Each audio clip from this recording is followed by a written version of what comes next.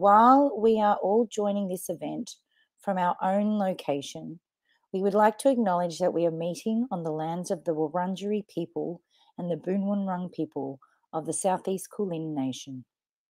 We would like to pay our respects to their elders, past, present, and emerging, and to all First Nations communities joining us today.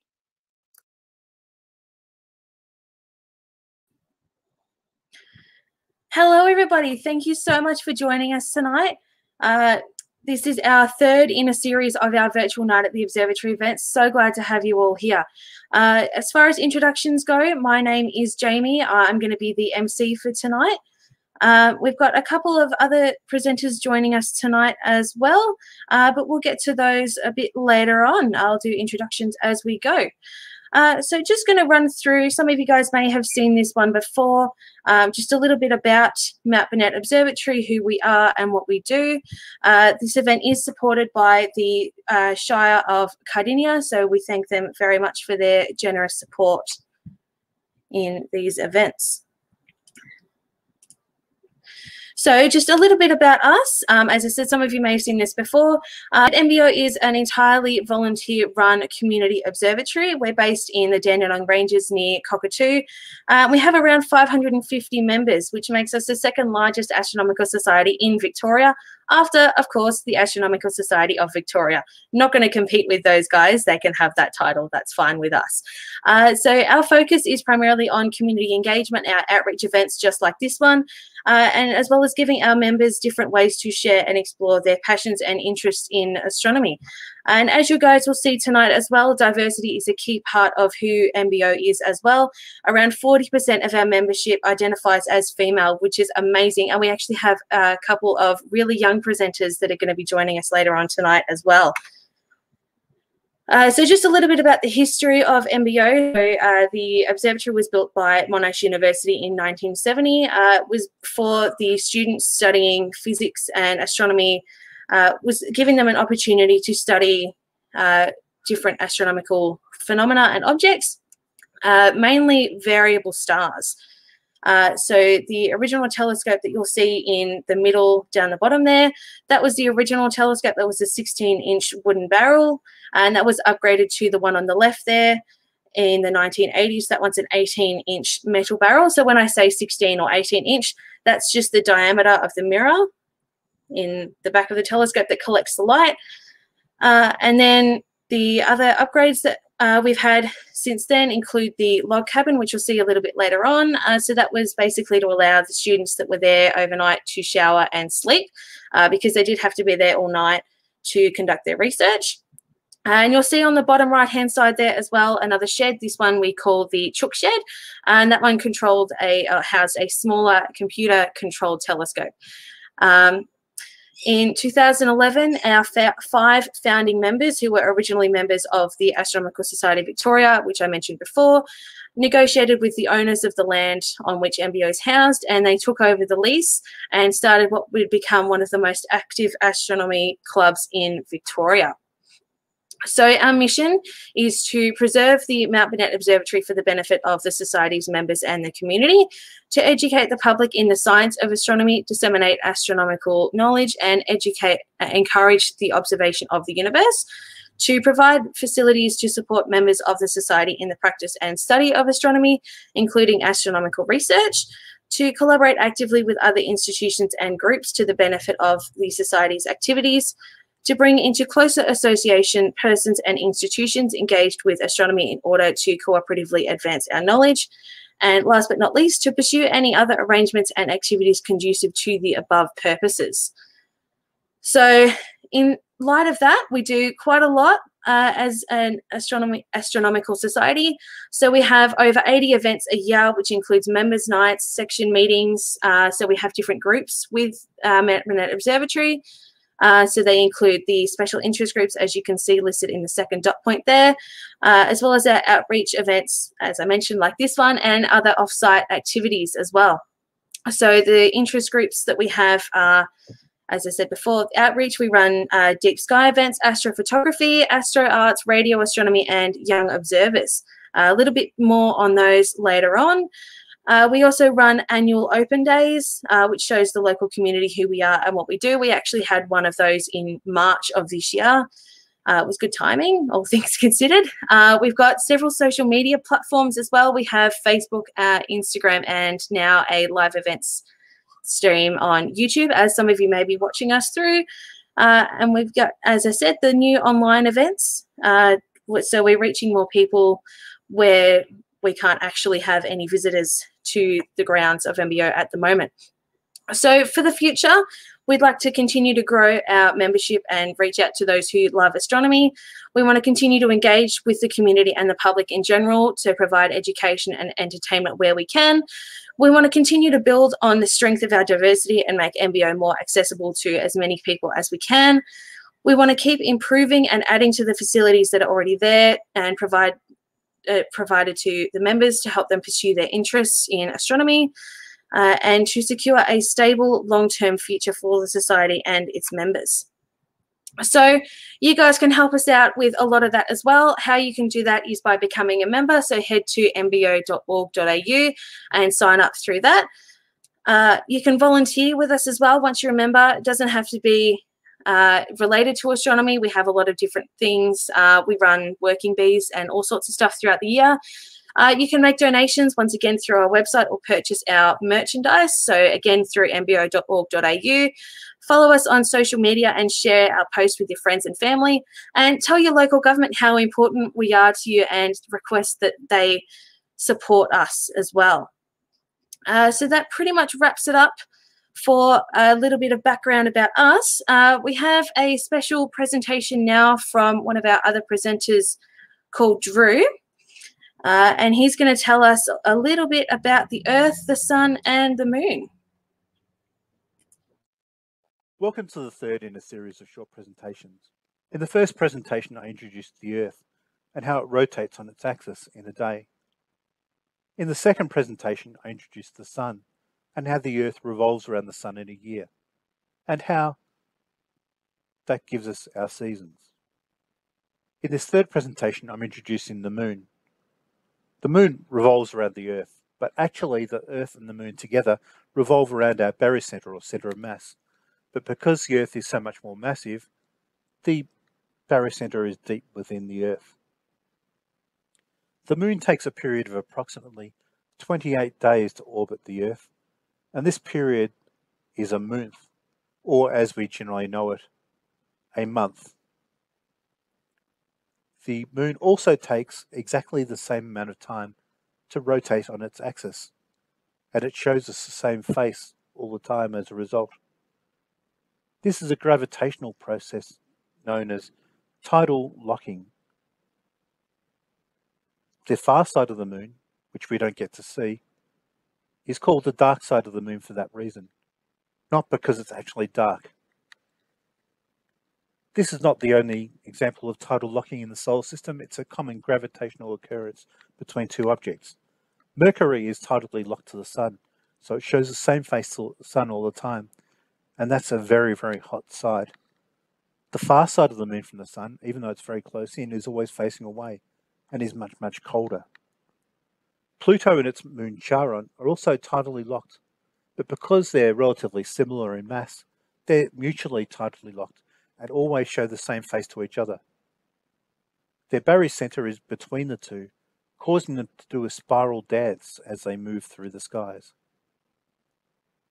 Now, tidal locking is actually very different to tides and shouldn't be confused. The moon pulls on the earth as it goes around, causing the oceans to swell in bulges on the near side of the Earth and the far side of the Earth from the Moon. As the Earth rotates through these tidal bulges, we get our high tides twice a day. The Moon has phases and they're caused by the position with the Earth and the Sun. When the Sun is shining fully on the Moon from our perspective, we get a full moon. On the other hand, when the Moon's roughly between us and the Sun, and so we don't see the Sun shining on the Moon, we get a new moon. When the moon is perpendicular to us, we see half of where the sun is shining and we get a half moon. These phases happen all the time. The moon waxes and wanes in the sky due to these, this positioning.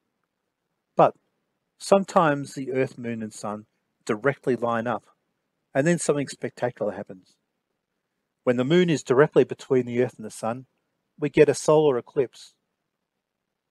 On the other hand, when the Earth is directly between the Sun and the Moon and casts a shadow on the Moon, we get a lunar eclipse.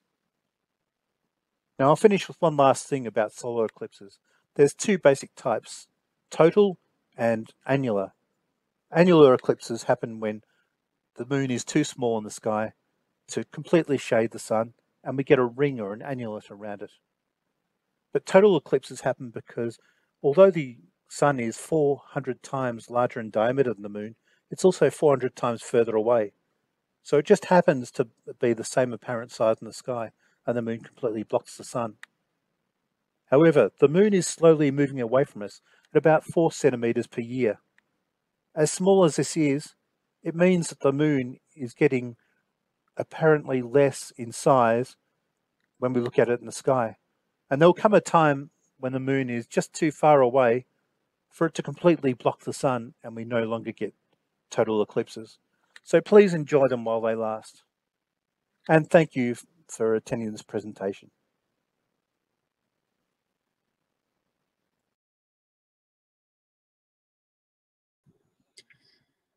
All right, how good was that? Thank you very much for that, Drew. You'll get to have a look at the voice behind that one a bit later on today. Uh, up next, we've got a little bit of an update about what MBO has been up to since we've finished, or since we've come out of lockdown and been able to go back up to the grounds and have a bit of a look around, see what we can clean up before you are all able to visit us. Uh, so we're just going to give you a little bit of a video update on that one in just a tick. Actually, Jamie, we might just have to skip forward on that one. There's been a, a little bit of a technical mix up in the, the source of the video. So we'll come to that after the next talk, if that's all right. Oh, I was looking forward to that one. You'll get it shortly. Cleaning up. oh, well, in that case, don't get sucked into the screen. Stuart's about to.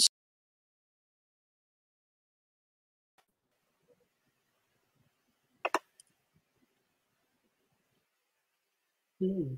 Hello, all. Yeah. Hmm. Well, it's if you haven't noticed, it's a Friday the thirteenth, so I thought I'd talk about something scary. So, what's the most scariest thing you can think of? Is it something that can kill you? Something you can't escape from? Something that's invisible? Something that you can't fight? They're invincible? Or is it simply the unknown? But well, all of these fears could be attributed to a black hole. They're a very strange and interesting object. And um, yeah, hopefully I can at least alleviate the fear of the unknown by giving a short presentation about what they're all about. So, what are what is a black hole? Um, some refer to it as a hole in the fabric of space and time itself. And although this description is uh, correct by by what they are, um, there's probably a better way to think about them, a more robust way to think about them. Um, in some way, black holes are the same as every other object you'll find in space. Uh, uh, same, uh, they're just another object floating in space, the same as a planet or a star. They come in different, different sizes and different masses. So, and just like every other object, they float through space, going their own ways, and they also are affected by gravity so, same as um, the how Earth travels around the sun. If you replaced the sun with a black hole that had the same mass as the sun, the Earth would continue on its path without being interrupted, uh, because um, all that matters to gravity is the amount of mass you have, not what you're actually made of. Uh, so um, that gravity is all the same from a black hole. And also, if you replaced a the Earth with a black hole the same mass as the Earth, um, it would continue orbiting around the sun or the sun black hole that you have um, because black holes re- uh, react to gravity the same as every other object. So, in that way, they're not too exotic. They're just like any other object that you'd find in the universe strolling around. But uh, black holes are, impre- are different in other ways, and for that, I'll talk shortly about gravity.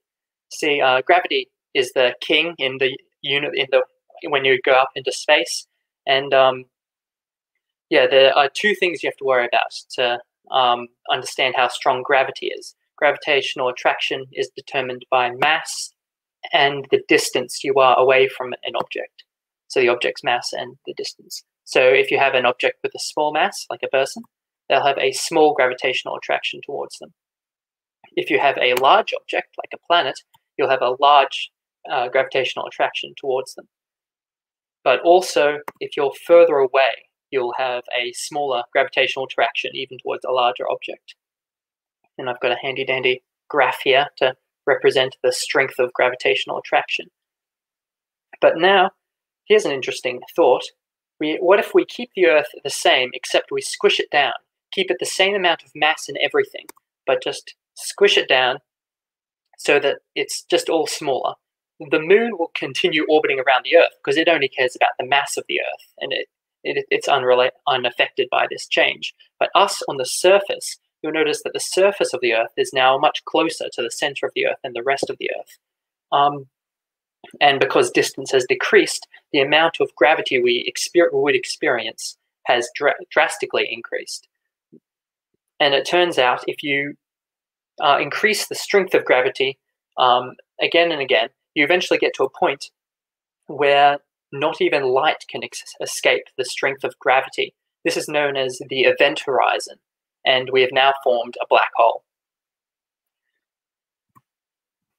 So how do we form these black holes? Because they're actually incredibly extreme. Uh, to actually make a black hole out of crushing the Earth, you'd have to, to crush the entirety of the Earth down to about a centimeter length.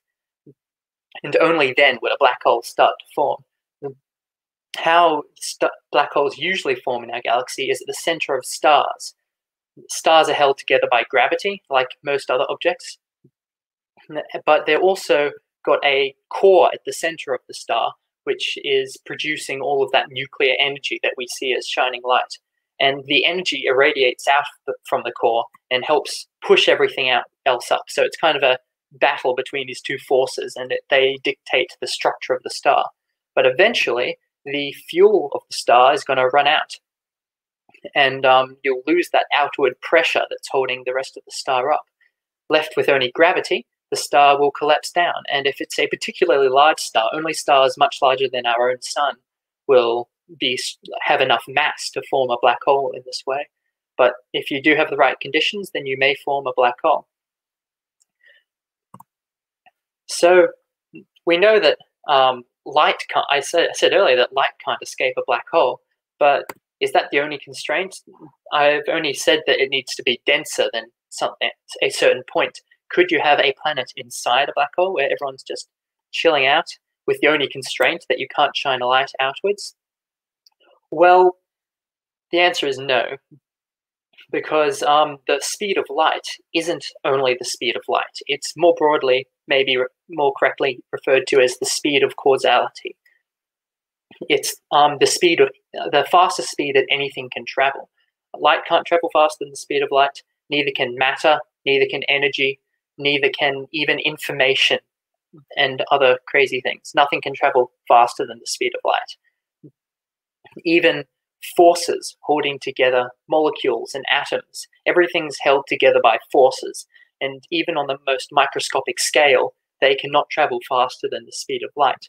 So all of our molecules and atoms are held together by their own um, forces, but the force pulling you into a black hole is stronger than that. So as one part of the molecule tries to communicate with another, gravity will pull it away. So you'll find that no structure can survive within the radi- the, radi- the uh, event horizon of a black hole. Now, if you have any structure whatsoever, then it's going to be pulled in towards a zero-dimensional point, otherwise known as a singularity. This point has a finite mass, a, a defined amount of mass, but it has an infinite density because it has zero volume. You're dividing mass by a, a big zero.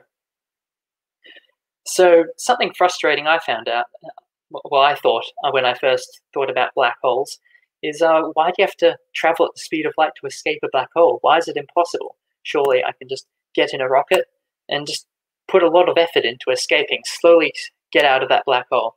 Slow and steady wins the race. Well, hmm, that's not quite the correct way to think about it. We usually think of um, things that that are affected by gravity as if there's a gravity well around them. This is a actually a very good picture of how to represent gravity.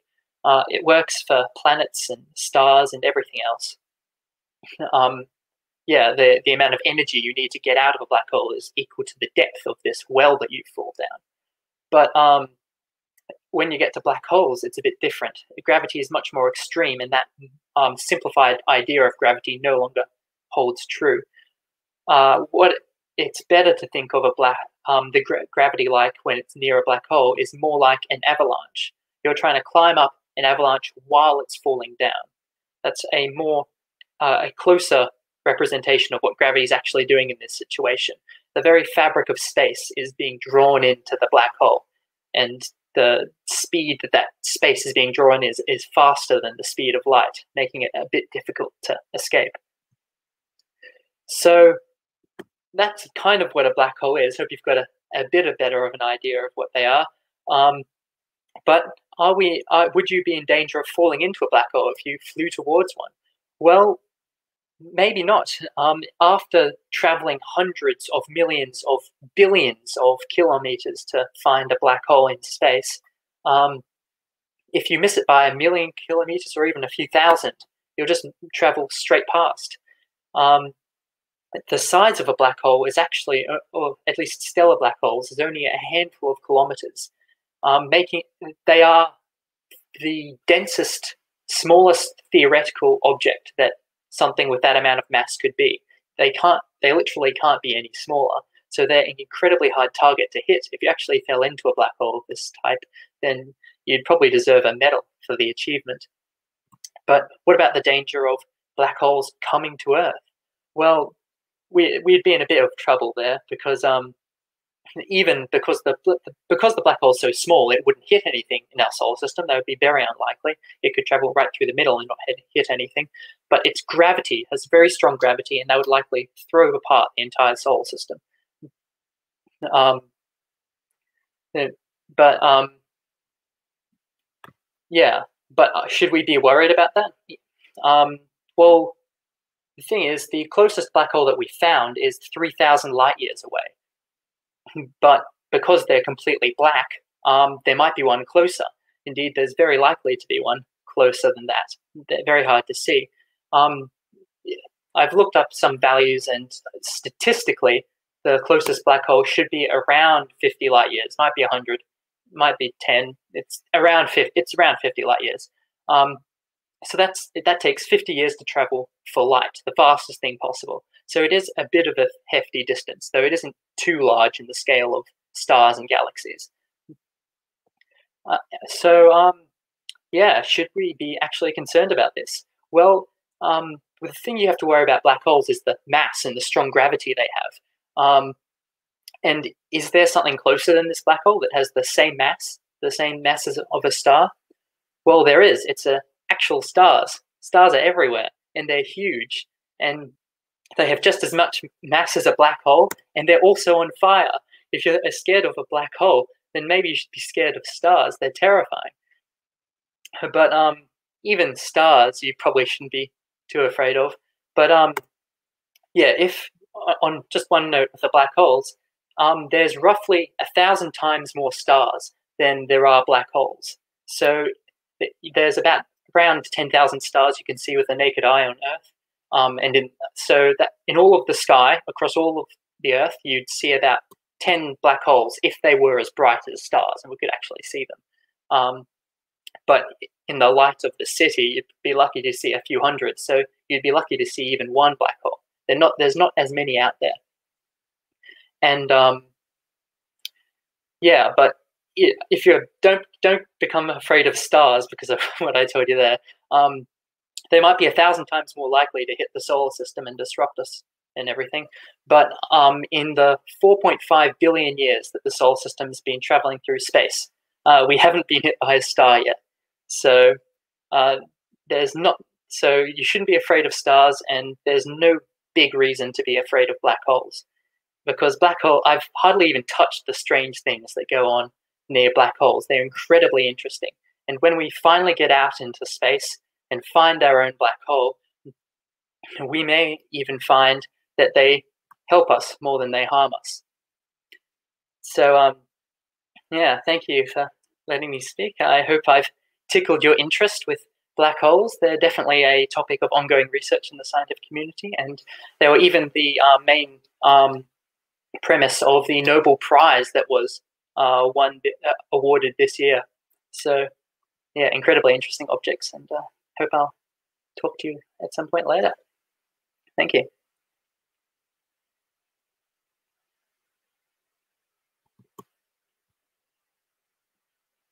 Still muted there.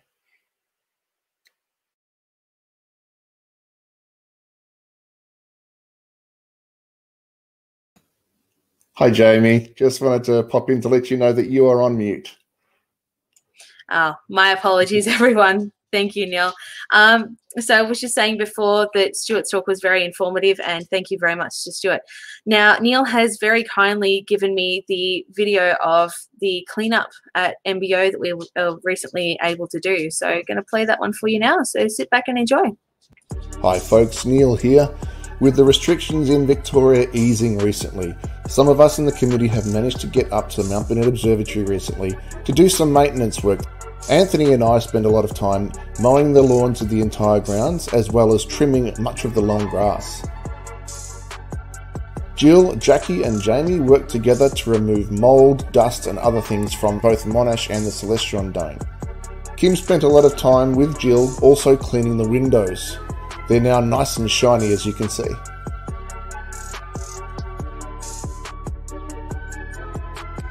Anthony continued his hard work sealing the log cabin walls.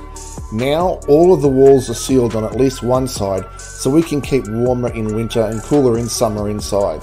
This has been a long arduous task but it's been well worthwhile and should see completion in the next few weeks. Tony ably assisted Anthony with the task, seen here installing a block of wood to fill the gaps made by spacing the logs correctly. Anthony also began work creating an enclosure for the electronics inside the log cabin. Jackie also continued work on preparing the dome for the return of outreach events, as well as other committee members contributing work to the maintenance tasks that needed to be done. This will be ongoing for the next several weeks as we look forward to the day we can open up to members and eventually the public once more.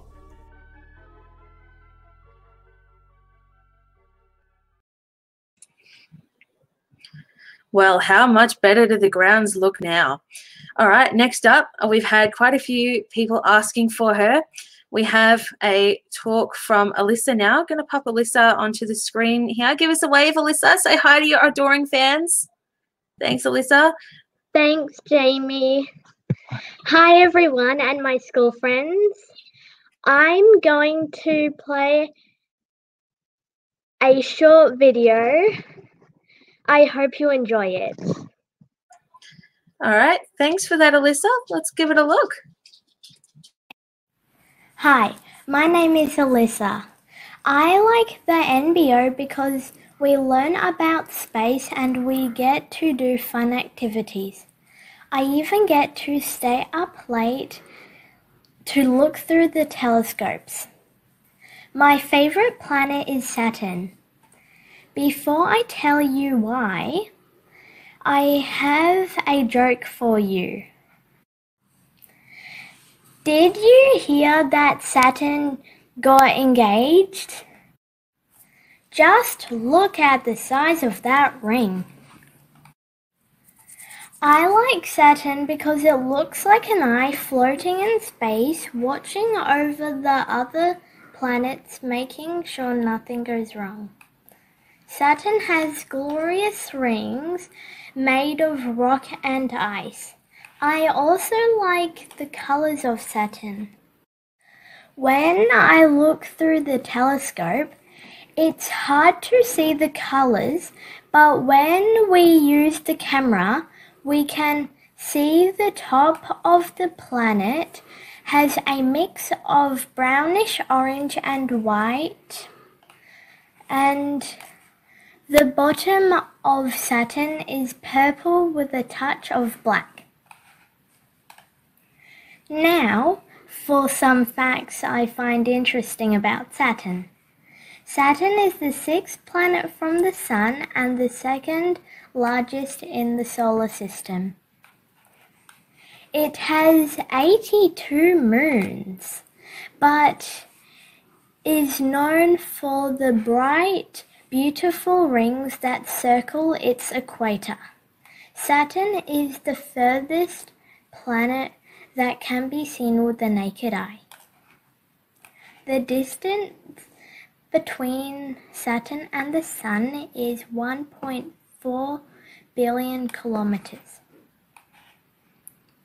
One day on Saturn is the same as 10 hours and 42 minutes on Earth. But a year takes 29 Earth years. To finish off, I have another joke for you. What do astronomers use when typing? The space bar. I'd like to thank Mum, Dad, and Liam for helping with this presentation, and Neil for the video. The NASA website for the pictures of Saturn and the moons. The MBO and outreach team for supporting and inspiring young people. Thank you for listening. I hope you enjoyed my speech. Well, how good was that? Alyssa is, as you would have uh, seen in the little pop up that came up on the screen before, Alyssa is our youngest presenter for the evening. So, really great job, Alyssa. Loved it. That was awesome. All right. Next up, we've got a little bit of an introduction to Saturn uh, from our presenter Merv. So here we go. Hi Cosmos fans, my name is Merv and I'm here to share with you Saturn and the history of its verse. The earliest known records of Saturn are on Babylonian clay tablets, not iPads, they called it Ninurta. Ancient Greeks named it Phainon, meaning to shine. Ancient Romans gave it the current name Saturn after one of their gods. Before the age of telescopes, Saturn, like other planets, was known as a wandering star. Before telescopes, people thought the Earth was the center of everything. The Sun, the Moon, the wandering stars, and all the other stars circled the Earth on great globes. In 1532, Nicholas Copernicus was first to describe a heliocentric version of the heavens. In 1610, Galileo Galilei was the first to use a telescope and look at the stars and planets and confirm Copernicus's observation that the planets circled the sun. His sketches of Saturn were quite simple, his telescope a plain refractor with a low magnification. He described Saturn as a planet with lobes. Call it ears if you want. He couldn't clearly see the wonderful rings that we see today. 45 years later, Dutch astronomer Christian Huygens, using a Newtonian-type reflector telescope, was the first to see Titan and the largest moon circling Saturn. He identified the arms that Galileo saw were actually rings. Philosophers of the time discussed what the rings were really made of. In 1675, French astronomer Jean-Dominique Cassini was the first to see the gap in Saturn's rings, now known as the Cassini division. The outer ring would be called the A ring, and the brighter inner ring was labelled the B ring. Cassini also discovered four new moons.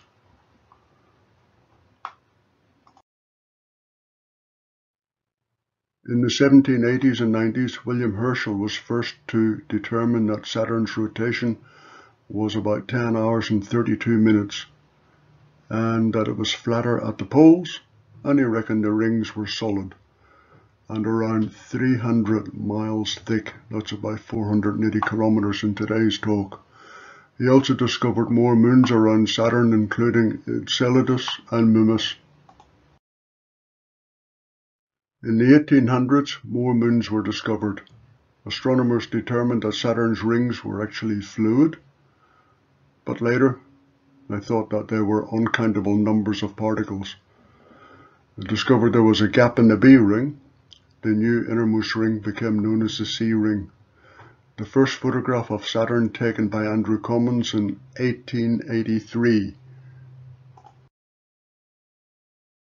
During the 1900s, the thickness of the rings was determined to be 15 kilometers. We now know it's very much less, on average about 10 meters thick. Many more moons were discovered.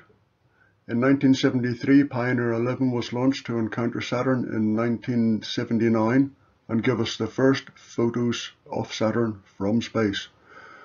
In 1997, the Cassini spacecraft was launched, and in 2002, it recorded the first radio waves from Saturn.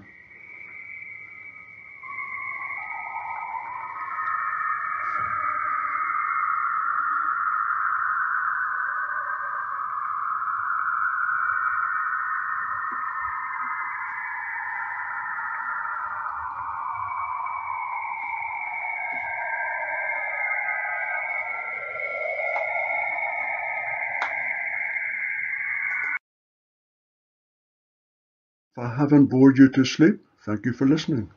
My thanks to Wikimedia Commons and NASA for the images and sounds. Stay tuned for more from our other MBO presenters.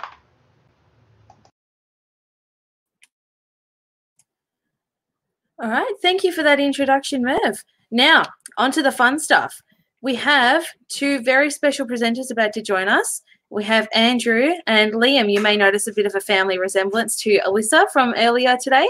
They're going to take us on a little bit of a trip. So take it away, guys. Very good. Thank you, Jamie. Good evening, everyone.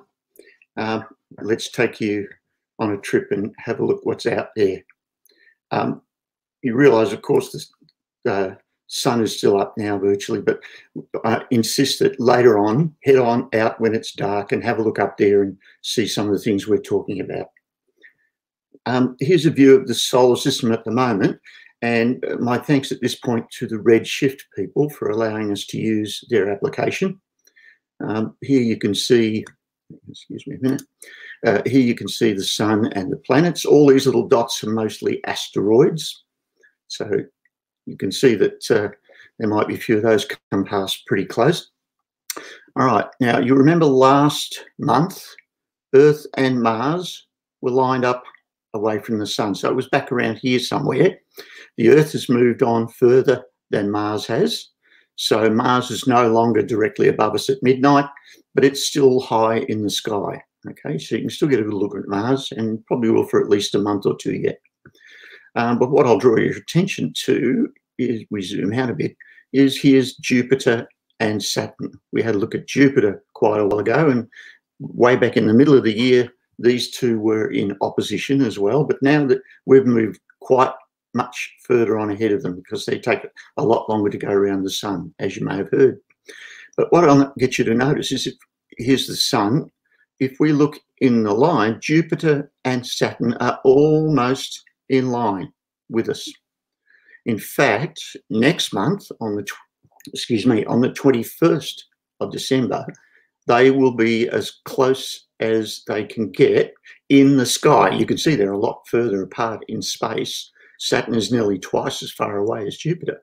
But as we look into the sky, we'll see them virtually lined up. In fact, you'll see them both at the same time through a telescope, which is fairly rare.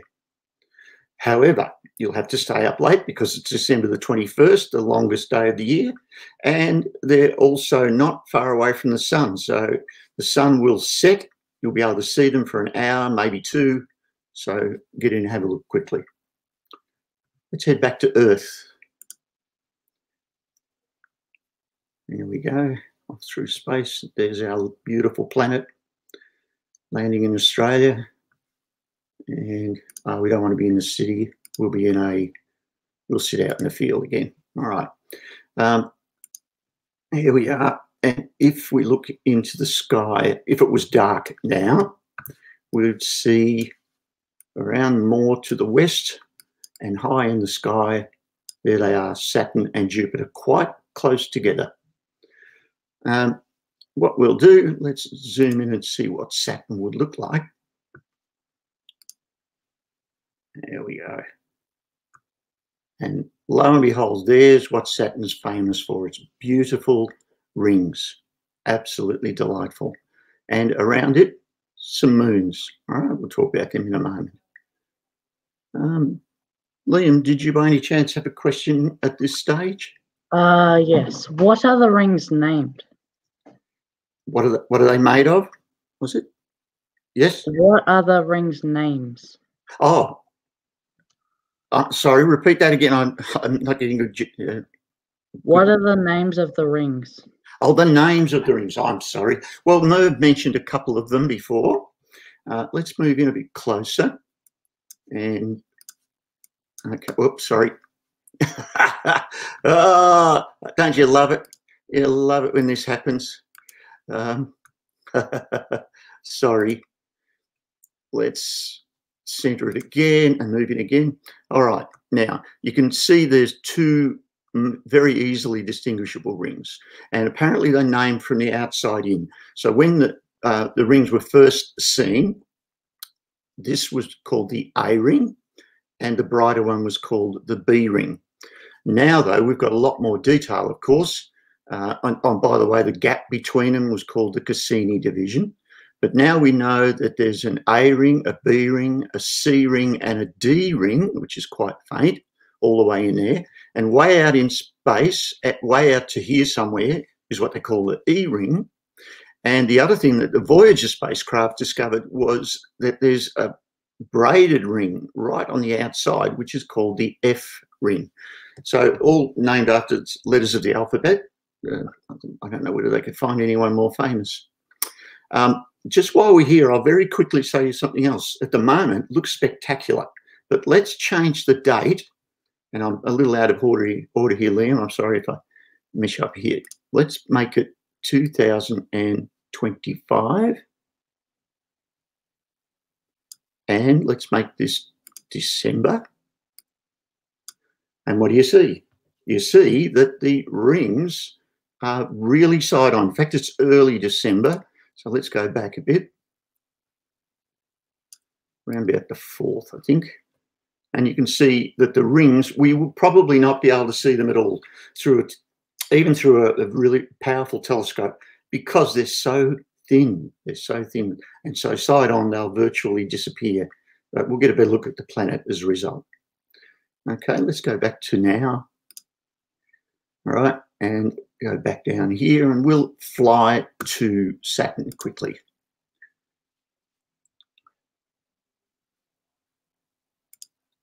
Okay, so we come back to Earth, jump on our spaceship, and off we go. And there it is again. Andrew? Yeah. How long would it take to travel to Saturn? Well, it only took us a few seconds then, but of course we wouldn't be able to travel anywhere near that fast. Even if we could travel at the speed of light, it would still take us 84 minutes because it's 1500 million kilometers away. It's 10 times further away than the sun. So it would take a long time, even at the speed of light. Um, the space probes, Pioneer took, I think, five or six years to get there. Voyager 1 took about five years, even though it had a slingshot as it went around Jupiter. And Voyager 2 was the same. It was slingshotted on by Jupiter, and that also took six years to get there. So it's a long, long way off. Um, there we are. There's our beautiful Saturn. And now we can get a better look at the rings from above. And what's this big area here, you think? Well, of course, that is the shadow of Saturn. You can see this is the bright side of Saturn. So the sun's in this direction below the screen. And the shadow of the planet is clearly shown on the rings. We can also see um, the more detail. We'll put them to the middle and let's move in closer. Uh, so we can see that the rings, there are in fact thousands of them. All right. And interestingly, each ring has is moving at a different pace to the next one. It's made of very small particles, astronomically speaking, as small as a dust particle and up to 10 meters across. So most are be between that range. And as I said before, the, the, the actual rings are very thin, um, up to a kilometre in places apparently, but on average around about 30 metres or thereabouts. So lots and lots of rings. Andrew, what are the rings made of? Okay, well, we can see that the B ring is brighter than the A ring, and they believe that both rings are very similar. Um, mostly it's water, or water ice, of course, at the temperatures that be there. Um, but there's a bit more dust and rock in the A ring. Okay, but um, main, it, you could think of it as dirty snowballs, in fact. All right. Um, there is a one further out that's not clearly shown here, though. But maybe those of you who saw the pre the pre-show leading up to when we opened the broadcast, if you get the sun behind Saturn, uh, you can see that rings go all the way out here as far as Enceladus. Where's Enceladus? Can we see? There it is. So Enceladus, in fact, is providing material for the rings all the time. Uh, was there another question I had to answer in there first, uh, Liam? Um, yes. Does Saturn have a feature or red spot like Jupiter? Um, yes, good question. Thank you for that. Let's zoom in on Saturn again and center it. Okay, now if we have a closer look at the planet itself, you can see that it's nowhere near as featured as Jupiter is. Jupiter had very easily seen features, but you can see there is some lighter and darker areas. Um, Jupiter had its famous red spot, which has been around since it's been discovered. Saturn has a white spot which we believe is formed the same way, but it's not as permanent. It seems to appear every 30 years or so. And interestingly, it's actually due this year. Um, apparently, it hasn't been seen yet, so maybe it's just late. But the white spot shows up. There are some uh, really interesting photographs of Saturn on the internet as well, showing uh, some storms that show up as white. There's one I saw that where the storm stretches all the way around the planet uh, quite interesting. So the yellowish color apparently is due to crystals of ammonia in the upper atmosphere. And of course, ammonia is a gas here on Earth, on Saturn, it's little crystals in the upper atmosphere. Uh, the planet itself has a rocky core, very similar to the Earth. Then it's got uh, a layer of liquid hydrogen, uh, which gives it a magnetic field. It's then got a layer of helium mixed in with that and about a thousand kilometers deep of atmosphere, mostly hydrogen and helium. Um, let's zoom out a little bit. And way out further than all the other moons that you can see here is Titan. And Titan's quite interesting. But you got Is it true that Titan has an atmosphere? Yes, indeed. In fact, it's really the only moon in the solar system, which, uh, can we zoom in? Zoom in, Andrew. Ah, there we are. It's got a thicker atmosphere than Earth. The moon itself is bigger than Mercury, so it's the second biggest moon in the entire solar system. And you can see in this representation the fuzziness around the end. It's got a thick atmosphere, mainly nitrogen, with about 5% methane. It probably rains methane. Uh, and it's so cold on the surface it gets down to around about minus 180 degrees centigrade. But at that temperature, things that are uh, mainly gases here on Earth are liquids on Titan. So Titan has seas of hydrocarbon, things like methane, ethane, benzene, uh, things that have hydrogen and carbon making up what they're made of um, they form liquid and there's seas and oceans almost of this, particularly near the north pole of Titan. All right, I think we're going pretty well. The other interesting moon we mentioned just before is Enceladus. Let's quickly zoom in on that. And Enceladus is an ice moon, and its surface, you can see, isn't all covered in craters. There are a few, but most of it hasn't got craters. That's because it's reforming all the time. Um, tidal forces and, and some internal heat and pressure melts this occasionally and you lose some of the features that would have been there and we get lots of cracks and fissures.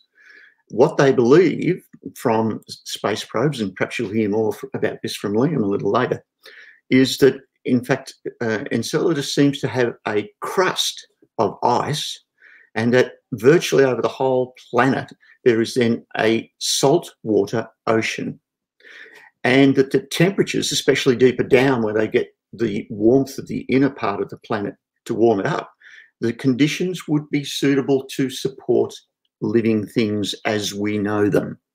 So it's quite uh, an exciting discovery that's just come in virtually this century. And Enceladus is moving right up our list of places where other living things might be. Um, I don't think I've missed any. Is there anything else I've missed, Liam?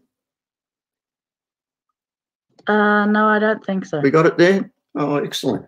Well, I think I'd like to hand over to you at this stage um, because um, I believe you've got a really good presentation for us. Thanks, Andrew. I'll see you on the Q&A.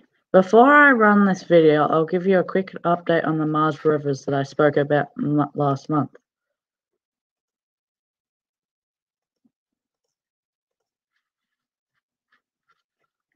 Perseverance has just passed halfway, the halfway mark on schedule to arrive in Mars at Mars in February.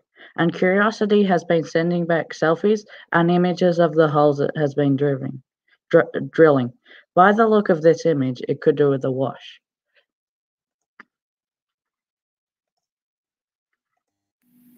Missions to Saturn, both directly and indirectly.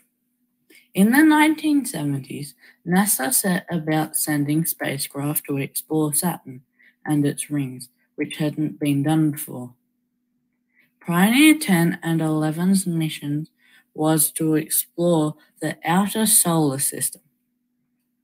Pioneer 10 was the first mission to fly beyond Mars. This paved the way for future missions to conduct more in depth studies. Pioneer 11 was the first spacecraft mission launched by NASA to study Saturn and Jupiter. It flew by Jupiter in 1974 and used Jupiter's gravity to assist in making it to Saturn five years later. It took the first close up images of Saturn in September 1979.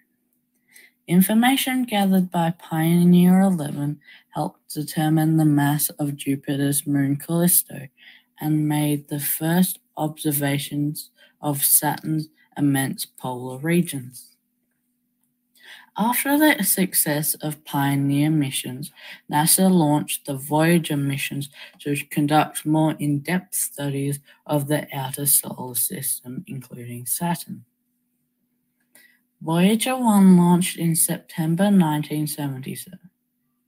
It flew by Saturn in November 1980. Voyager 1 and 2 both took advantage of a rare planetary alignment to visit as many planets in the outer solar system as possible, and Voyager 2 made it to Jupiter, Saturn, Uranus, and Neptune. Voyager 2 launched on the 20th of August 1977, 16 days before Voyager 1, and flew by Saturn in 1981. It took detailed images of Saturn's rings. The data from Voyager 1 and 2 suggests that the A ring is only 300 meters thick. The Voyager missions are still going some 43 years later. Earlier this year, NASA lost contact with Voyager 2, and after upgrades to the Deep Space Station 43 radio telescope in Canberra, NASA has re established contact with Voyager 2, which is now in interstellar space. The Cassini Huygens mission was designed to explore Saturn's moon Titan. They launched in October 1997 and Huygens probe arrived at Saturn on January 14, 2005. The Huygens probe was taken to Saturn by Cassini. It took Huygens two and a half hours to descend from Cassini's orbit to Titan's surface, where it landed. Cassini relayed Huygens signals to Earth, but there was a problem, so only some of the signals were transmitted. It took the first images from the surface of Titan and measured the density of Titan's atmosphere, which is almost one and a half times Earth's atmosphere. Cassini's missions were extended twice during its 13 years exploring Saturn, which it orbited 294 times. Cassini discovered the hexagon storm and found ice on Enceladus.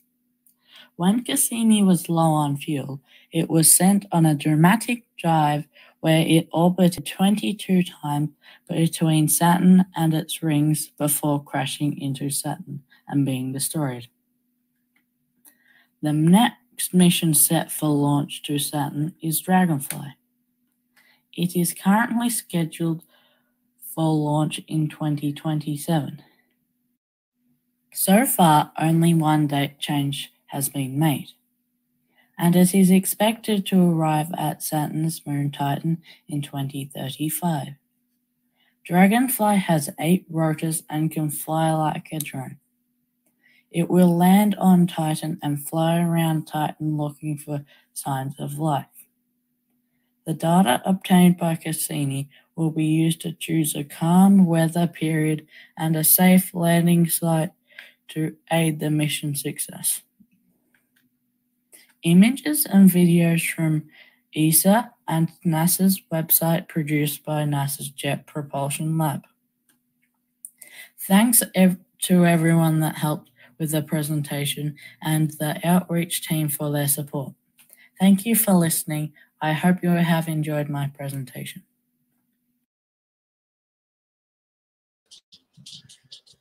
All right. Thank you very much for that, Liam. That was very informative. All right, now we're going to move on to a presentation from Jeff. Just going to pop Jeff on the screen here. Say hello, Jeff. Hello, everyone. All right, Jeff is going to teach us all about webcam astronomy. So we'll give that video a whirl. Enjoy. In 1930, American Clyde Tombaugh discovered the dwarf planet Pluto, not by peering through a telescope, but by using a newly developed technique comparing photographic plates of a small part of the night sky. Astrophotography's been around for almost as long as there have been cameras, but the popular, even astronomical growth of astrophotography has been due in large part to the Hubble Space Telescope and the webcam. With a modified webcam, a laptop, and a telescope able to track the apparent motion of the night sky, Images of at least the Moon, Jupiter, and Saturn are possible. My first webcam, bought over 10 years ago, cost me $8. I figured that if it didn't work out, I hadn't lost much. Spurred on by success, I've forked out up to $50 for a webcam. Many webcams can be bought on the internet today for around $20 Sometimes you'll find them in places like charity shops. There may even be one disused and languishing in a cupboard or drawer near you. Some webcams are suitable for conversion, and some are not. Recently, I found one with a lens like you'd find on a laptop. It couldn't be adapted. Accessing the lens involved destroying the webcam. Once modified, a webcam can be attached to a telescope with an adapter. A search for webcam telescope adapter should get you numerous to choose from at around 10 to $15. But you might be lucky enough to have a disused black Kodak 35mm roll film canister close handy. They just happen to be the right diameter to fit a telescope focuser.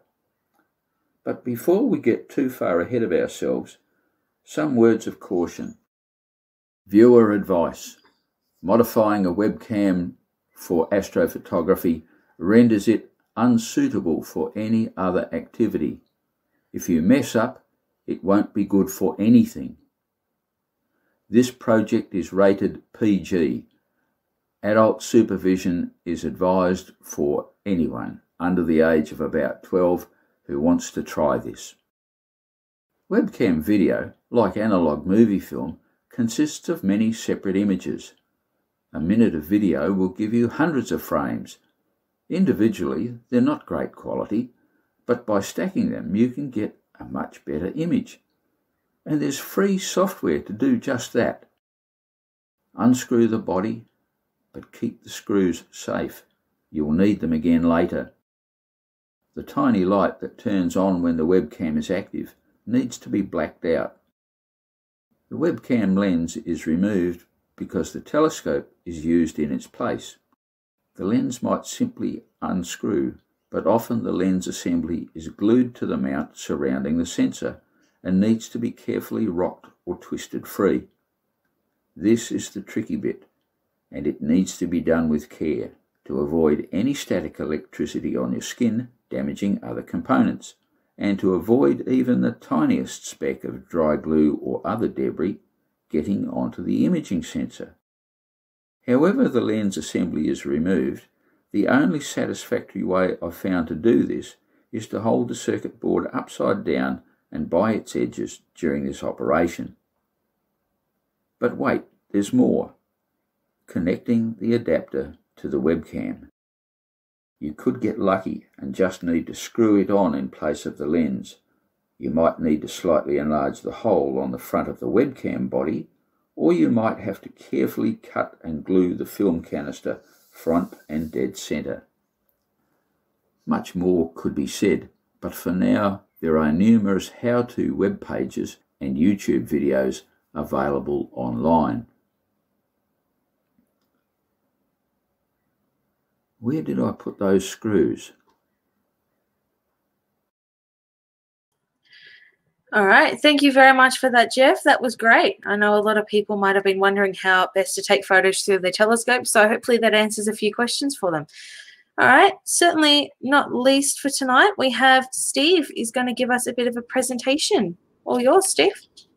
Okay. Well, good evening, everyone, and thanks, Jamie. I'm just going to share my screen here. So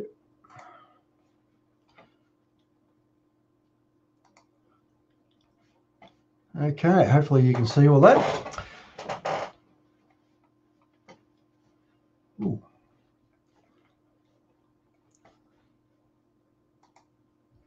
Okay, so um, my name is Steve and I'm one of the uh, MBO's outreach volunteers. And uh, I've just been listening with a great deal of interest to all of the uh, discussions tonight. We've talked. I mean, uh, we've had a lot of great information about Saturn. So uh, I just thought to myself, well, just have a bit of a, a pause and have a think for a moment. What if the universe just existed with no intelligent beings in it? It makes you just wonder a little bit. What would be the point of even having a universe if there was no one around to really look at it and appreciate it? So I thought I'd just give a talk for 10 minutes about the search for extraterrestrial intelligence, or SETI for short, and try to give you some insights for you to reflect upon. Now, if you were present at the last talk that I gave, I highlighted how small and insignificant we may feel when we realise that our entire history has taken place on that pale blue dot that you can see on the screen here. But we are actually very special. As far as we know, the Earth is the only place in all of the universe where a civilization has emerged capable of examining the sheer immensity that is all around us. Our very existence is a way for the universe to know itself. However, it's easy to lose sight of that when we get bogged down by all the worries and problems as we live our lives on Earth. Sometimes we just might question whether there's any purpose to it all. And this can prompt us to look for some answers to some very big questions. Questions like, what's the point of it all? Or is our existence just one big cosmic accident? In seeking an answer to these questions, I reckon the search for extraterrestrial life can go a long way toward giving us a true sense of what it means to be human. So, what is SETI and what is the Great Silence? So, just to give you a little bit of a, a bit of history on uh, on the search for extraterrestrial life, back in 1959, uh, Giuseppe Cocconi and Philip Morrison demonstrated that interstellar communication was feasible and that extraterrestrial civilizations would likely communicate with one another at a frequency of 1420 megahertz because this frequency is naturally emitted by hydrogen and would therefore be well known to any technologically advanced civilization. So, armed with that knowledge, an astronomer by the name of Frank Drake, who uh, is the author of the famous Drake equation, he steered a 26 meter radio telescope in 1960 in the direction of a star called Tau Ceti and another star called Epsilon Eridani in the hope that he could tune in to, to the discussions of, a, of an alien civilization somewhere. But he found nothing. But he continued the search under the, under the name of Project Ozma, which he named after the Wizard of Oz. And other researchers became enthralled with the idea that there may be alien civilizations. And a feasibility study called Project Cyclops in the mid 1960s inspired a multitude of studies, which each sought to find evidence that we are not alone. Now, while SETI was treated by the scientific community as a fringe activity, Carl Sagan became involved and ultimately became its best known advocate. And in 1984, the SETI Institute was established to coordinate all of the research.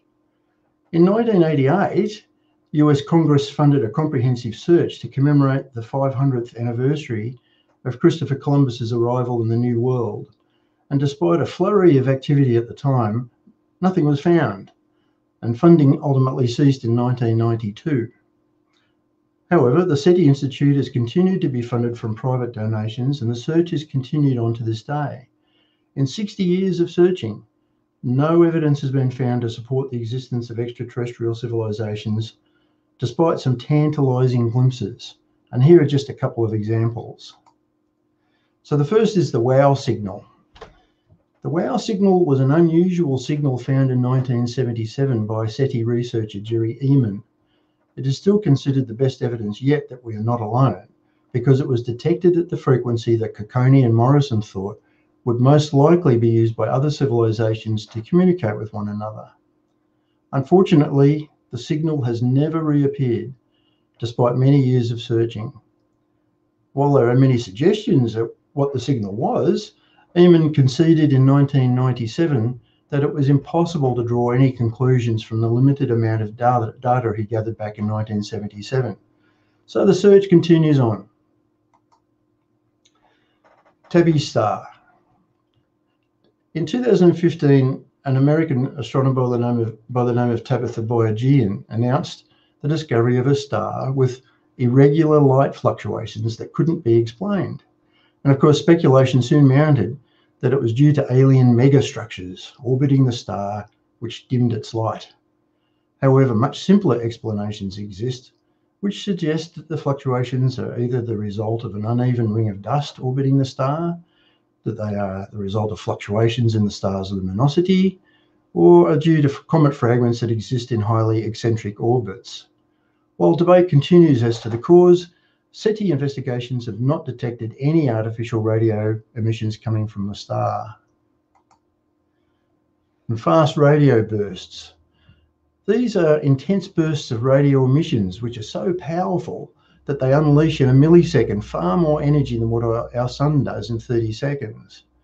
Most of these bursts are detected coming from other galaxies, and they've puzzled astronomers for many, many years, giving rise to conjecture that they could be signals from extraterrestrial civilizations.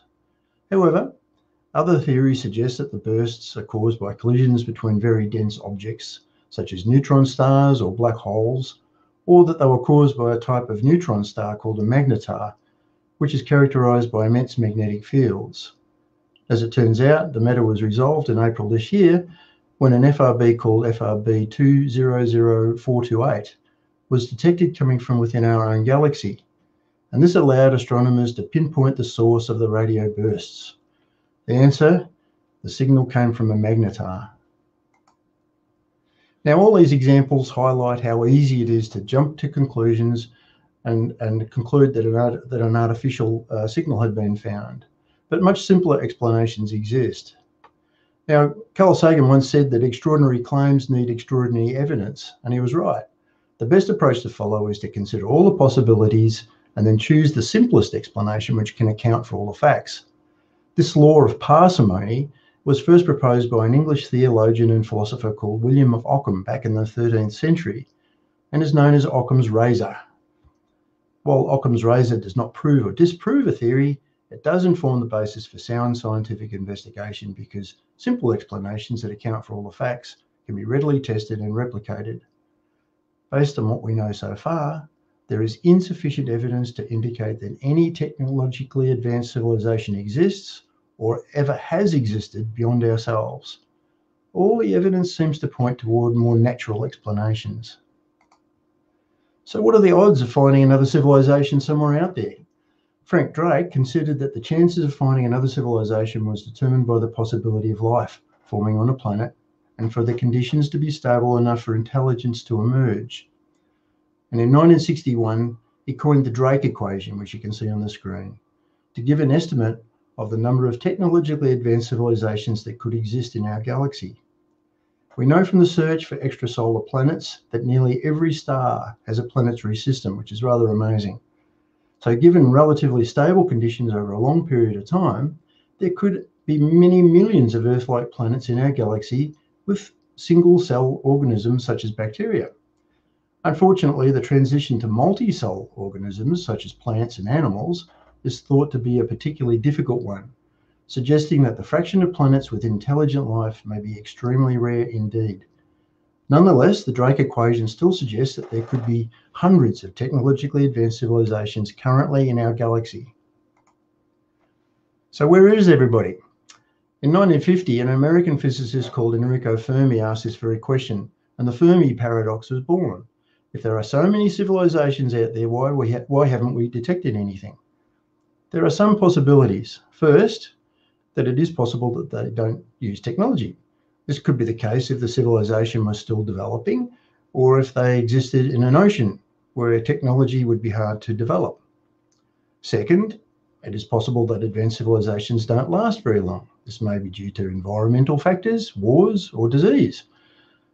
Third, it is possible that they have developed technology that is so advanced that we can't detect it. And lastly, it's entirely possible that we are the first. So, based upon what we know so far, it seems that there may be million millions of Earth like planets in our galaxy. This means that the odds of having simple life on many of them are quite high. However, the chances of an advanced technological society evolving and existing at the same, at the same time that we exist is extremely unlikely. There are simply too many conditions that have to be in place over billions of years for this to be so. Besides, you would think that in over 60 years of searching, we would have found something by now. As a result, the search is now tuning in or turning in um, on from the extra uh, the search for extraterrestrial intelligence to the search for extraterrestrial life.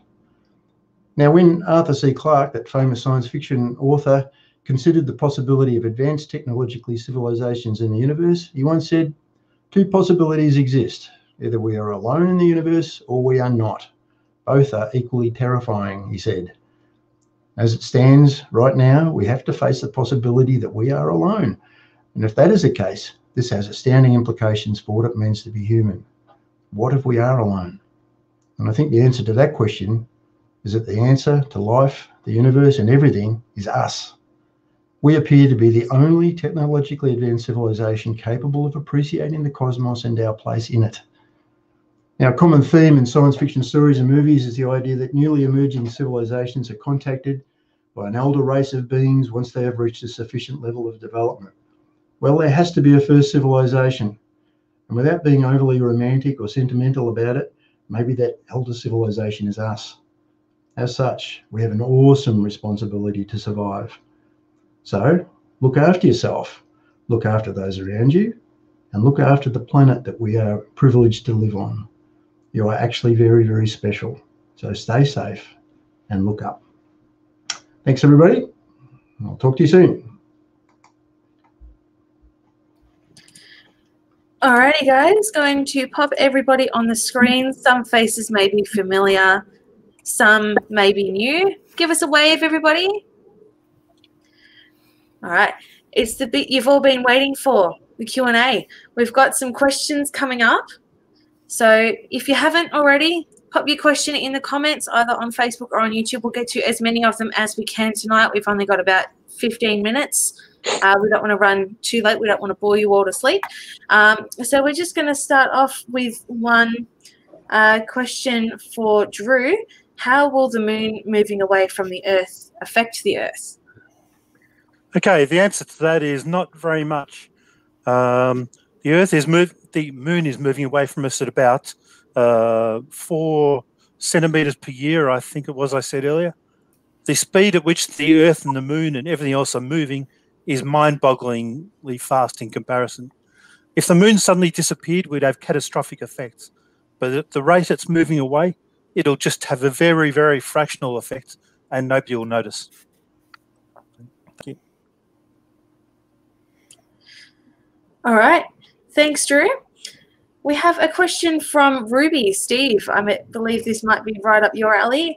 Uh, Ruby is age six, and Ruby says, Hi, everyone. Because you know so much about space, do you think that aliens can actually be real? Well, we hope uh, that there are aliens out there, but we simply haven't found anybody uh, just at the moment. But we keep on looking, and um, you never know. We'll um, maybe one of these days we'll find them, but we just have to keep looking. Wise words there, Steve. Does anybody want to add on to that at all? Uh, I just would like to say that, uh, as Steve commented in his discussion, it uh, seems unlikely that we're alone out there. But I think I should add, it's also very unlikely that we've ever been visited. Uh, if there are other cultures out there, the distribution of them is so sparse and the distances between us so great that it's extremely unlikely that any uh, other cultures have ever visited Earth.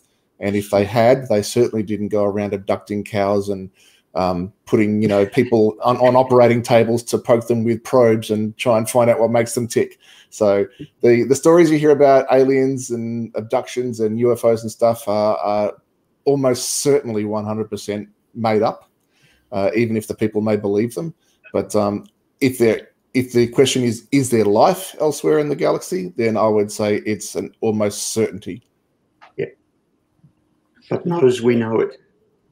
Yeah. Yeah, well, that's it. Life could look very similar to what we look like or vastly different. So who knows? We'll just have to, as we said, we'll just have to keep looking. We right. won't probably recognise them and they won't recognise us as living. Just something yeah. to think about. Mm. Well, we'll cross that bridge if and when we come to it. Hopefully, the answer to that is more on the when side of things rather than the if. Uh, next question is one from uh, uh, Facebook. Sorry. Uh, is there a chance our sun could become a black hole? Stuart, that sounds like one for you. Uh, yeah, the answer would be no. Um, we're fairly certain we know that our star will just kind of puff up and blow away for the most part, and what will be left will be a white dwarf star, which is a star that's about the size of Earth. Um, that's very, very hot, and it's just gonna, but it's very, very small, so it's to be very, very dim. So it's just to be a burning cinder at the center of the solar system. Um, yeah, there's many uh, ways that a solar system can end. One is a black hole. Um, that, that, that's reserved for the more heavier mass stars. And in between white dwarf stars and black holes, there's also neutron stars. Um, so yeah, that's what we think so far. But there's many exotic ways that the star can evolve and die. All right. Thanks, Stuart. Uh, going to go to a question from Luke. Uh, if possible, can you let us know what telescope you need to be able to see the rings of Saturn? Jackie, you're a resident telescope expert. Mm-hmm. What are your thoughts um, on that one? Yeah, you actually don't need a lot of power to actually see Saturn's rings. Um, you, in magnification terms, you only need 15 times. So you might actually have a large pair of binoculars um, uh, 15 times binoculars. Um, and if you can hold them steady enough or balance them against a, a fence or a, a doorpost, um, you'll just be able to make out a very tiny Saturn, and the Saturn has rings around it. Um, so just about any telescope will show you that Saturn has rings. Um, if if you want to see them larger, um, then you do need a slightly larger telescope. But you're never going to see them huge. You're never going to see them um, as good as you're going to see them on your computer screen. Um, because to get them that good, you need to send a spacecraft out to see them, and that's why we build spacecraft because they you just there's only so much you can see with a telescope. Okay, so so yes, we get to see them um, live ourselves, um, there's always gonna this Saturn is always gonna look tiny because it's twice as far as Jupiter. You've got to remember that. Um, so um, any small telescope will show you that Saturn has rings and that they're not ears around Saturn as Galileo um, saw them. But um, to get the really close up look, that's why we send spacecraft out, even to planets as big as Saturn that we can see in a telescope ourselves. Yep.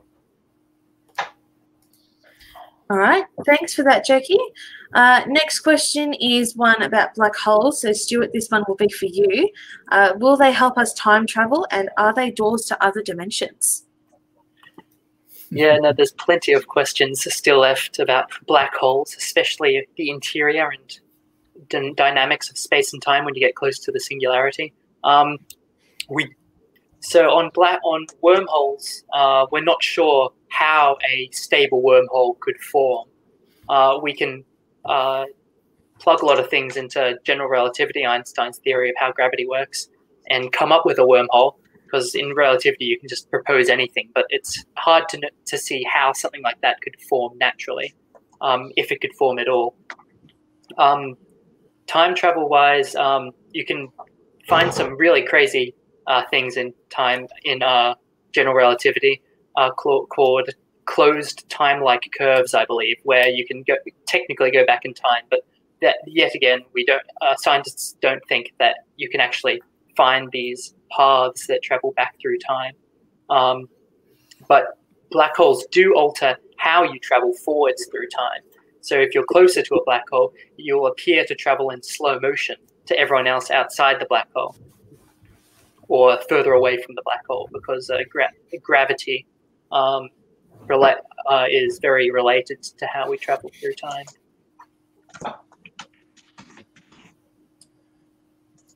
Awesome.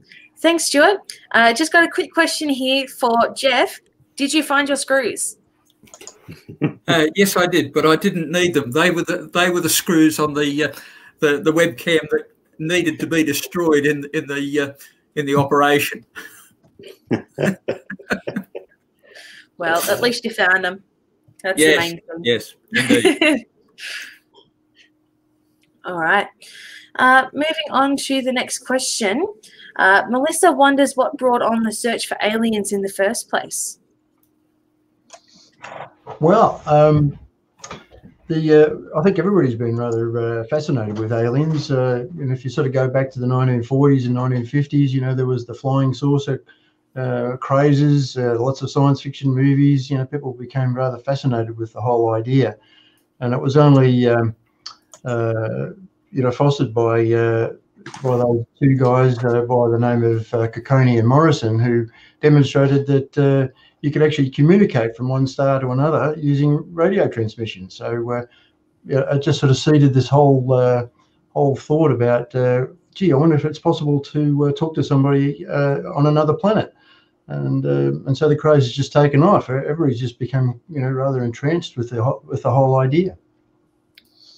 People people were fascinated with life on other planets well before that, though. Um, with um, telescopes looking at Mars and Venus, and they could see changes were happening on there. So there, there was speculation there was life on those planets because, well, it's changing. It's seasonal. There must be plants growing and plants dying, and plants mean life, and there must be animals, and um, so it went like that. And even if you look at um, textbooks. Uh, talking about Venus and Mars in the 1950s, they'll talk about Venus being lush and tropical under the clouds. Um, so, and even Carl. Sagan was talking about that. If you look at the original Cosmos, um, I think they they talk a bit about that as well. Um, so uh, there's, and I, well, I've got a wonderful book. My brother got a wonderful book. They were talking about if only we could build a telescope big enough, we'd see animals gambling on the moon. Um, so there were, um, it's mainly to do with um, the invention of the telescope. I don't see much uh, about talking about life on other planets before that. I think if you really historically researched it, you would find a few. Um, but it's mainly the invention of the telescope, seeing changes happening on other planets, not understanding what it was, and relating it to what people could relate to at that time, which was plants growing and dying and animals. And so, oh, it must be life there. And then it just sort of grew on from there. And then the UFO stuff really came on after World War II um, with airplanes. So that's and and I think in the sci-fi movement and in the writing and it just that it sort of um, all took off that way. Yep. All right, thank you for that one, guys. Uh, probably one of our last questions for the night, unfortunately. Um, just keeping an eye on the time here, folks. Uh, we've got a question here from Mark. Uh, Andrew, this would be a good one for you. If you could fly to Saturn, would you crash if you the rings, or would you just fly straight through them?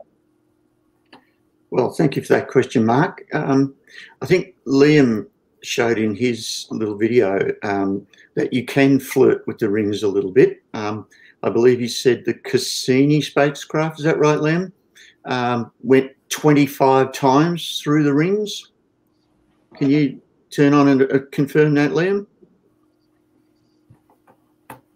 No? Yes? Um, Oh, yes, it's about 25. Um, Yeah. Maybe 26, so I can't remember.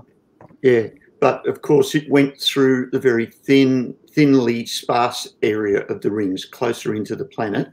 If it tried to fly through the A or B ring, then it, it, you'd be keeping your fingers crossed. It's possible you could fly through the rings, and some spacecraft have, but I don't think I'd be uh, given any travel insurance if I decided to give it a try. Okay, there's too many big bits. okay. All right, thanks, Um, Liam and yeah, Andrew. Just a, Yep, go ahead, Stuart. uh, a fun additional fact. I think I might. I'm pretty sure I got this right, but um, I believe when it traveled through the ring, it angled so that the um, main communication disc di- dish it has was in front of it, so that they could kind of use it as a makeshift shield to block any of the microscopic particles they might come across, Mhm. um, just for added protection. Yes. Yes. Very good. All right, thanks, guys. Uh, got a qu- another question here from Peter. When our sun dies, where should we go? I think we'd be very grateful to still be around at that point. It's a long way away, billions yes. of years away. We will be toast long in- before that. In fact, yes, life on Earth will be impossible um, in just one billion years rather than the four billion years that the sun is expected to live for, um, because it will start going through a phase where it expands. Uh, it becomes larger and it puts out more energy. And uh, in about a billion years' time, the oceans will evaporate away from the Earth. So uh, we'll need to be well on our way before that happens. However, humanity as a culture has only existed for maybe 40, 100,000 years. Um, as a species, the uh, we, you could say that modern humans may be back to, you know, 3 million years or something like that. We're talking a billion years. So that is a very, very, very long time. All of recorded history is just 6,000 years. So uh, I think if we came even 1% of 1% of the way to the point at which we might think about leaving the Earth, I think we'll have done pretty darn well as a species to make it that long. And we could probably choose anywhere in the universe to go that we'd like. Yes. And given the rate at which our technology has accelerated over the last couple of hundred years, um, probably within a thousand years, we'll be able to remote control the sun anyway. We, we'll probably be able to decide whether it's hotter or colder. We're getting into the science fiction realms again, but hey, why not? Oh, no problem. I'll just add to that. Um, if you're trying to put together your catalogue now for where you plan to go at that time, don't look at any of the bright stars in the sky because most of those are much bigger and brighter and hotter and will burn up long before our sun will. yes. Yeah, yeah, Important Jeff, thing what- to note, Drew. When can we expect a uh, homemade video about how to hook up the sun to a remote control? Oh, uh, next month. Oh, that sounds like it's like the ingest wheelhouse. Yeah. No problem. Merv, you look like you wanted to add to the question as well. Uh, well, no, I, I did have a comment, but I think it's been pretty well covered. But you know, with our sun um, increasing in temperature by ten percent over each billion years, so waiting to the end of the sun's life in five billion years' time is a bit of a mute worry. Um, yeah, I think the the one billion years event is probably a bit more of a worry, and maybe even something before that is our um, galaxy's collision with uh, Andromeda, Yes. which is coming up in about four million years or four and a half million years' time. Hmm. Yeah, well, as far as I know, not much to worry about with that one either. No, don't lose any sleep over it. No, I'm sure we'll be fine. We'll be fine. And I think it's actually a good opportunity here to um, mention a point that Janelle Marshall made about climate change. Um, we have some immediate dangers to uh, human culture on Earth that we really should be thinking about right now. Uh, worrying about uh, what we're going to do when the sun explodes is so far out of the realms of our current experience that you can ignore it. But climate change is very real and it's happening right now. And as individuals, we can't do a lot about it.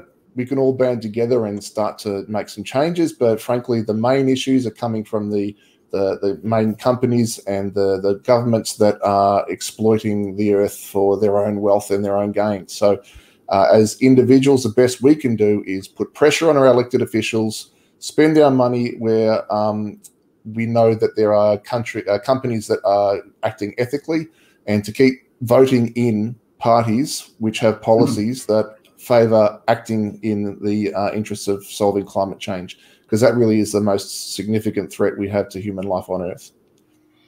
That's uh, and if Absolutely now. Uh, and if we are the only uh, intelligent beings in the universe, you know, we've just got a huge responsibility to look after our planet. and, uh, Absolutely. each other as well.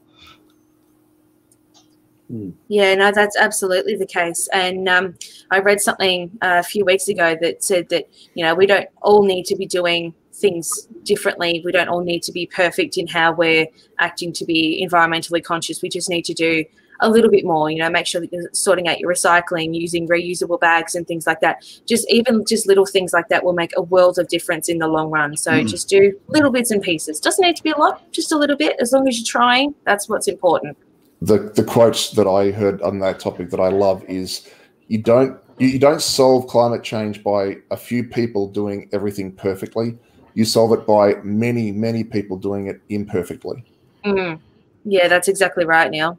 That's basically what I was getting at. So I couldn't recall the quote exactly, but um, that, I think that was the same one that I read as well. So, and I think that one is actually a really good note to leave it on for now. Um, thank you, everyone, so much for coming along tonight. We hope you enjoyed uh, the stream. We hope to see you all again next month. Uh, it will be the second Friday of the month once again. So pop it in the calendars, and we will see you all again then. And just one parting comment: uh, with the weather improving, uh, I'm hoping to get my telescope out uh, into my backyard sometime soon and do a live stream uh, of some imaging again. Uh, however, that will depend on the weather, my availability, um, the uh, what's up in the sky at the time, and so forth. So, if you're interested in watching me do some live astronomy and um, taking photos of the night sky, then make sure you like our Facebook page, and that way you'll get a notification uh, when I go live. All right, thanks for that, Neil. Just a reminder that MBO is on various social media platforms as well uh, Facebook, Instagram, and YouTube, as you would all hopefully be aware of. Uh, give us a like, share it around, and we'll see you all again next month. See you then. Good night, all.